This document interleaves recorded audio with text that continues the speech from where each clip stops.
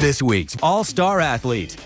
King Benford from Pedro Menendez High School. I know you're a football player. Tell me about playing football at Pedro and uh, what it is that you love about the sport. Really being able to enjoy myself and be a kid and just, you know, have fun and really just forget about, you know, everything around me, no matter what I'm going through. I'm able to just let it all go with when I'm playing football. And really, um, you know, as far as, you know, beyond just the fun aspect of it, as far as being a kid, I also love, you know, the life skills that football teaches you.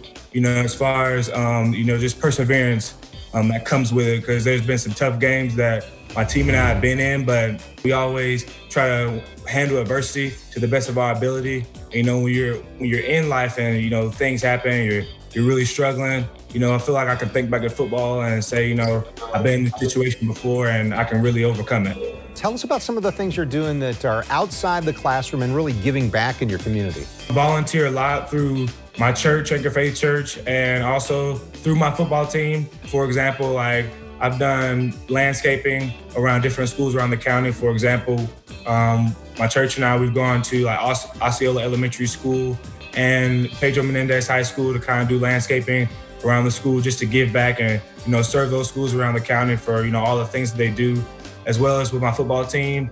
Um, I've went back to my middle school and I've also, you know, the younger generation, like the Police Athletic League, there's been like um, a, a camp that goes on yearly. Um, and I've really, you know, gone back and tried to pour into um, the younger generation to really try to make those um, young kids see that they can be, you know, anything they want to be and become great. King, you said you're excited about what the future holds. We're excited at Channel 4 to be able to tell everyone that you are the All Star Athlete of the Week. Congratulations. Thank you so much.